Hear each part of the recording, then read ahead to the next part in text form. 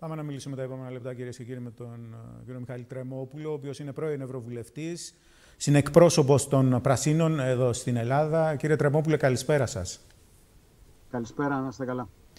Λοιπόν, ε, κύριε Τρεμόπουλε, να ξεκινήσουμε με την σημερινή ομιλία Ζελένσκι που συνοδεύτηκε από μηνύματα και νεοναζί του τάγματος των Αζόφ.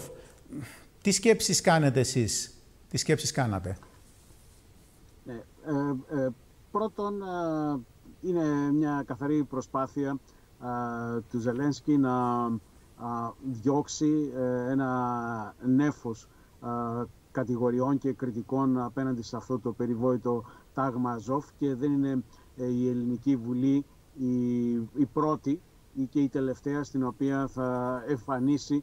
Ε, Δεν έχει εμφανίσει μέχρι τώρα. Ναι, ναι. Ναι, κύριε Τρεμόπουλο, ολοκληρώστε. Το έχει εμφανίσει και σε άλλες χώρες. Είναι, είναι, είναι συστατικό της ηγεσίας του Ζελένσκι το τάγμα Αζόφ. Είναι δομικό συστατικό, είναι κομμάτι. Έτσι. Ε, ε, ε είχε ξεκινήσει σαν μια ομάδα όντως ακροδεξιών απόψεων και πρακτικών αλλά έχει ενταχθεί στον Ουκρανικό στρατό. Και μάλιστα δεν ε, νομίζω ότι είναι ε, ψέμα ή προπαγάνδα το ότι συμμετέχουν και κάποιοι ελληνικής ε, Οπωσδήποτε συμμετέχουν ομογενείς. ομογενείς. Οπωσδήποτε οι οποίοι, συμμετέχουν. Οι οποίοι μάλιστα ναι. είτε είναι ψεύδος, πιστεύω ότι συμμετείχε ο, ο, ο παππούς του συγκεκριμένου που μιλούσε ε, στον αντιναζιστικό αγώνα. Η Μαριούπολη που ε, έχει 120.000, το γνωρίζουμε όλοι, είναι κέντρο του τάγματος Αζόφ. Δεν μπορεί οι ομογενείς να μην συμμετείχαν στο τάγμα Αζόφ, να μην συμμετέχουν στο τάγμα Αζόφ. Ε, δεν είναι δυνατόν. Πάρα πολλοί ομογενείς συμμετέχουν. Δεν έχω, δεν έχω κανένα λόγο να δικαιολογήσω την κυβέρνηση και τον πρόεδρο της Βουλής, αλλά ε, πρέπει κανείς να βλέπει ψύχρεμα τα πράγματα. Πείτε μου ψύχρεμα με τη δική σας οπτική. Αυτό προσπαθώ. Λοιπόν, ε, Προσπαθήστε καλύτερα. τάγμα... Ναι, ναι. Αυτό που συνέβη λοιπόν στο τάγμα Αζόφ είναι ε, μία διεύρυνσή του και με ανθρώπους που δεν έχουν σχέση με ακροδεξιές απόψεις. Ε, έχω δει ως και οργάνωση αναρχικών της Ουκρανίας να συμμετέχει σε αυτό το τάγμα Αζόφ. Είναι δηλαδή κάτι Εγώ δεν το έχω ξανακούσει αυτό που λέτε κύριε Δρεμόπουλε.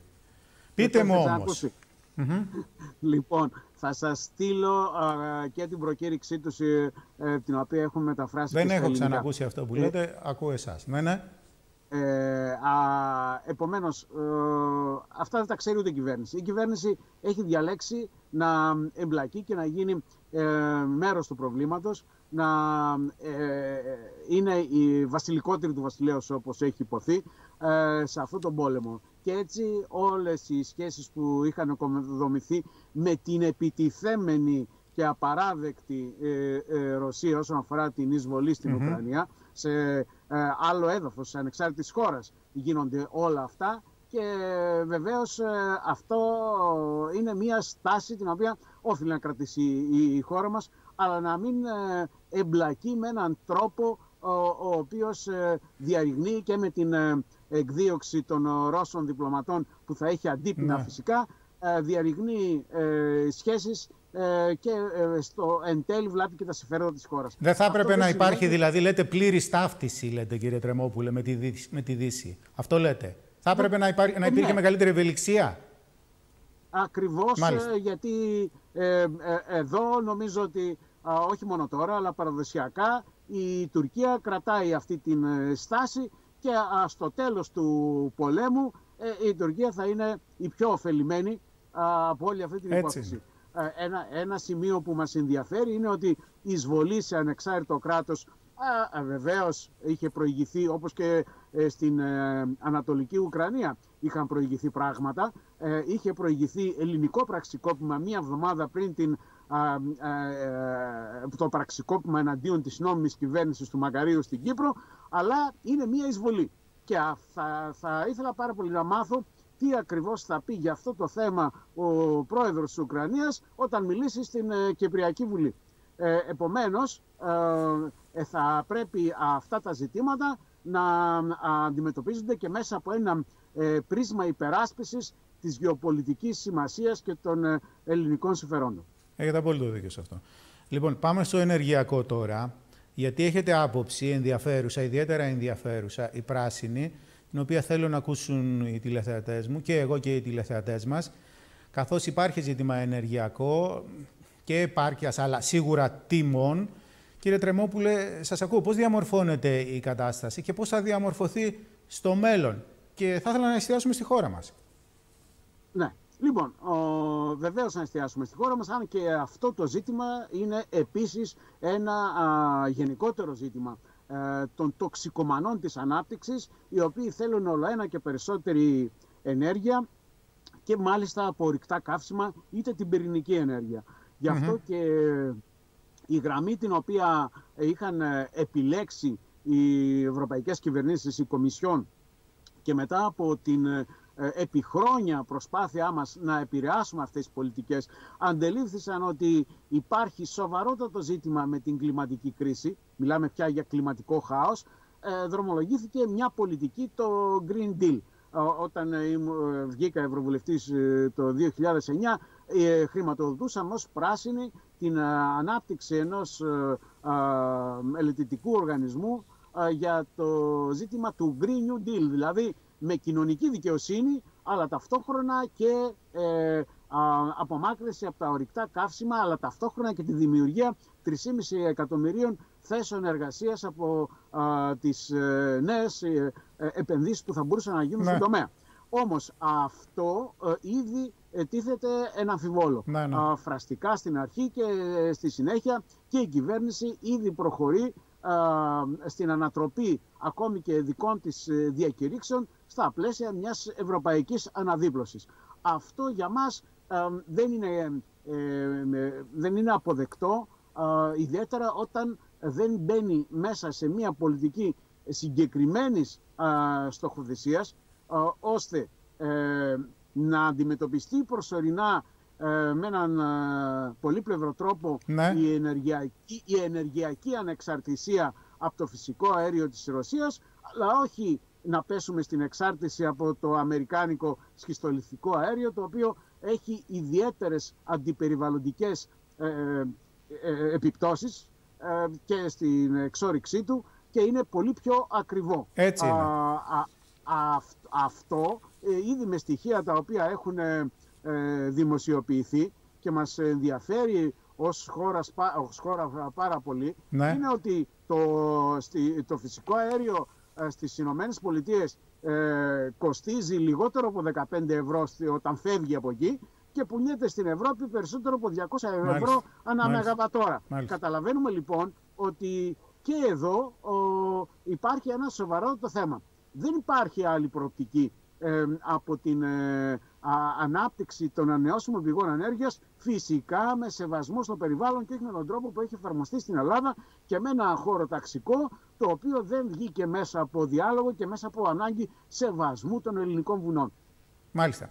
Έχετε καταγγείλει, μιλώντας και εδώ στο ITV άλλη φορά, ότι υπάρχει μια συμφωνία σε αυτή τη φάση με τους Βούλγαρους για πυρηνική ενέργεια. Να πούμε γι' αυτό, δεν υπάρχει μια συμφωνία βέβαια με υπογραφές, δεν υπάρχει κάποια ναι. συμφωνία ναι. κειμένου με υπογραφές, αλλά ναι. έχετε έγκυρες πληροφορίες. Ε, θα ήθελα να τις ακούσω κι εγώ ναι. και οι τηλεθεατές μας μία ακόμη φορά.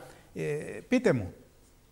Κοιτάξτε, ε, φαίνεται πως μέσα στο μπανικό της η κυβέρνηση ε, πώς θα αντιμετωπίσει και την απολιγνητοποίηση που έχει διακηρύξει ε, ήρθε σε μια συμφωνία με δικιά της πρωτοβουλία. Γνωρίζουμε ότι αυτή η συνάντηση ε, του Έλληνα Πρωθυπουργού με τον ε, αντιπρόεδρο της βουλγαρικής κυβέρνησης έγινε στη διάρκεια της Συνόδου Κορυφής.